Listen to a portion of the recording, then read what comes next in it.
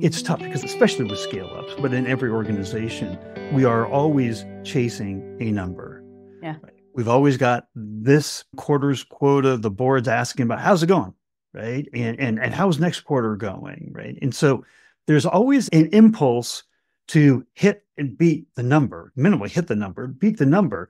And so there's also a thought process of, well, let's expand a little bit. Let's not limit ourselves mm-hmm. by who we're going after. So, as much as we're trying to focus and define on those core companies that are at our heart of our ICP, the ones that will buy again and the net promoter score will recommend us and are the happiest, we have this tendency to grow beyond it and want to grow beyond it.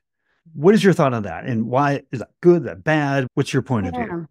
Nothing bad about taking business opportunistically that's available. I think organizations need to get really clear on what their ICP is and invest the majority of their resources there, right? Their their sales resources, marketing resources, both financial and human, as I mentioned, thinking about the impact that those decisions have on customer success or product org, et cetera.